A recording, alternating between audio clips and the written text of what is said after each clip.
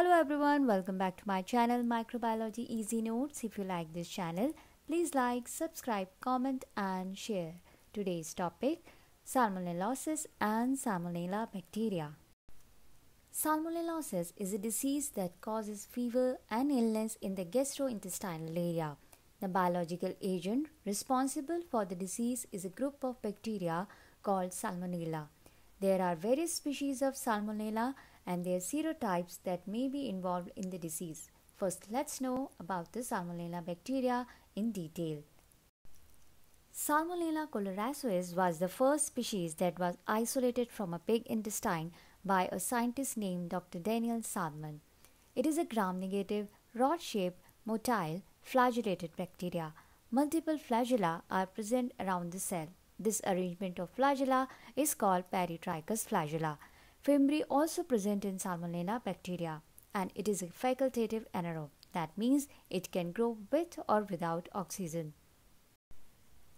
Salmonella bacteria belongs to the Enterobacteriaceae family. There are different serotypes of Salmonella species and based on their serotypes, there are two types of Salmonella, typhoidal and non-typhoidal. Typhoidal type is caused by Salmonella typhimurium typhi. Here typhi is the name of serotype. Other Salmonella species that can cause typhoidal salmonellosis is Salmonella paratyphi A, B or C. Here A, B, C are name of serotype and non-typhoidal salmonellosis is caused by Salmonella enterica or Salmonella bongori. Salmonella enterica enterica serotype is mostly responsible for non-typhoidal salmonellosis in humans. Other serotypes involved can be Salmonella enterica arizonae, Salmonella enterica salamae, Salmonella enterica diarizonae, Salmonella enterica indica, Salmonella enterica houtenae. Rarely, human infection caused by Salmonella enterica arizonae and Salmonella enterica salamae. Other serovars are frequently found in cold-blooded animals. In typhoidal type, prominent symptoms are fever and septicemia, and in non-typhoidal type, Salmonella disease, main symptoms are enterocolitis and food poisoning. I have mentioned serovar word many times. What is serovar? Serovar are groups within a single species or subspecies of bacteria that can be distinguished from each other based on their surface structure or antigenicity. Like Salmonella typhimurium typhi, here Salmonella is a genera, Typhimurium is a species, and typhi is serotype. Salmonella serotyping is determined by the expression of antigens on their surface. Major antigens are O antigen, which is present on the outer membrane of bacteria, H antigen present in flagella, and K antigen, which is present on the capsule. Source of infection How one can get an infection of Salmonella? Salmonellosis is a foodborne disease. When food items or drinks are contaminated with feces and healthy people consume that contaminated item, they get the infection.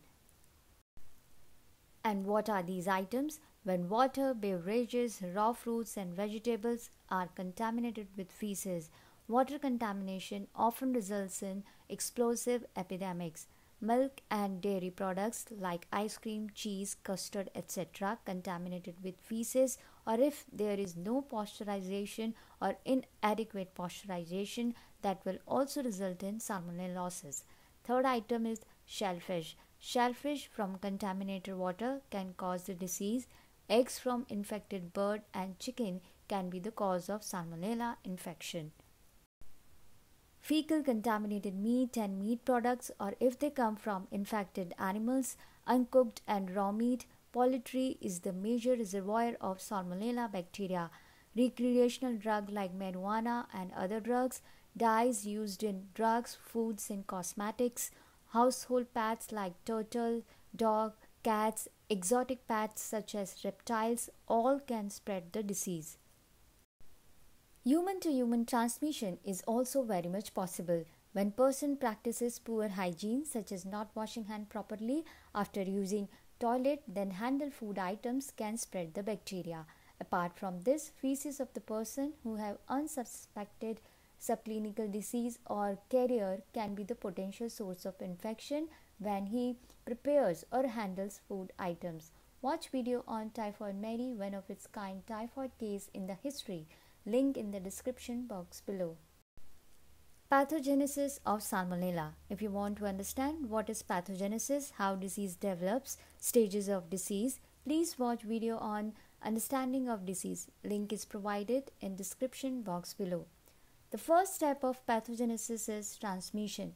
Salmonella bacteria enters the body via oral route while consuming fecal contaminated water, beverages or food items Infection can be transmitted from animals to humans and humans to human also. Colonization Once ingested, Salmonella survive in acidic environment of the stomach.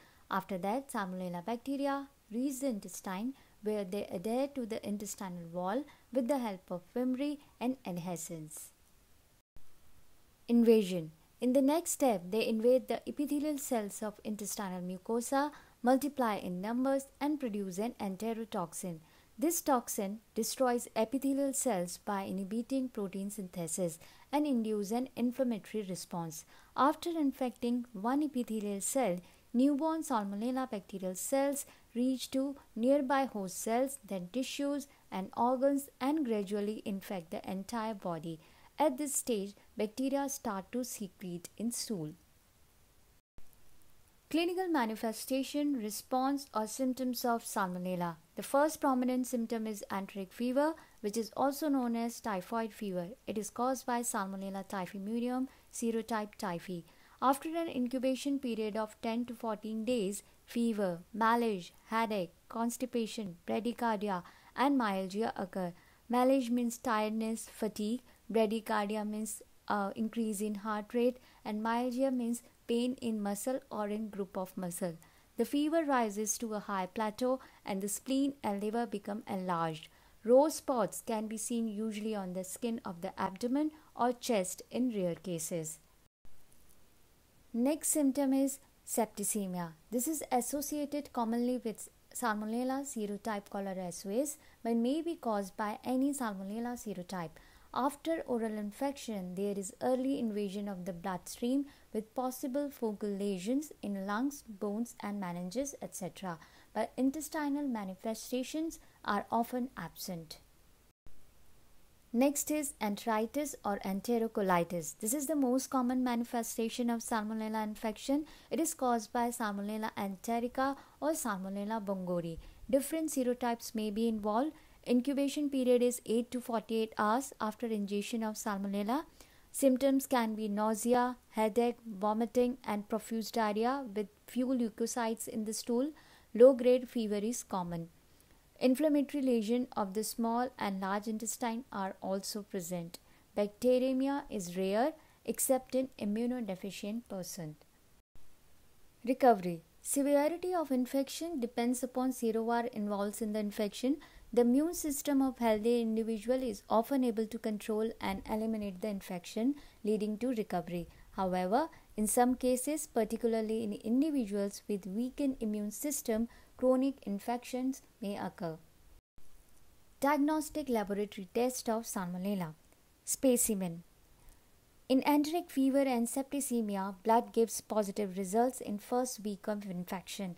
In case of enteric fever, stool specimen gives positive result after second week of infection. When enterocolitis occurs, stool sample gives positive result from first week of infection and bone marrow sample and urine sample can also be used to establish the connection.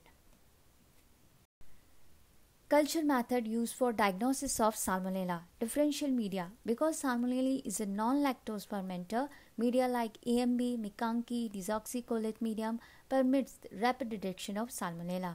Selective media like Hektoen enteric agar, XLD agar, desoxycholate citrate agar favors the growth of Salmonella over other Enterobacteriaceae bacteria. Enrichment media like selenite F and tetrathionate broth favor the growth of salmonella. If you want to see the video on culture media, different types of culture media, please watch the video. I have given the link in the description box below. Serological method for diagnosis first is the agglutination test. In this test, known sera and unknown sera are mixed on a slide. If clumping occurs, test is positive. Nowadays, kits are available for the detection of salmonella in samples. Widal test this test identifies O and H antigen in sample. Other tests include rapid colorimetric, ELISA, and EIA methods. Nucleic acid amplification tests like PCR, RT-PCR, genome sequencing are also available for diagnosis of salmonella in sample. Recently, biosensors are also developed for rapid detection of salmonella. Treatment Antibiotics like ampicillin, trimethoprim, sulfamethoxazole, or a third generation cephalosporin can be given to patients. Patients who are suffering from severe diarrhea replacement of fluid and electrolyte intake is essential. Prevention and control. Sanitary measures must be taken to prevent contamination of food and water. Clean hand properly before cooking, eating, and handling food items. Keep food and beverages away from pets, birds, rodents, and other animals. Cook food properly.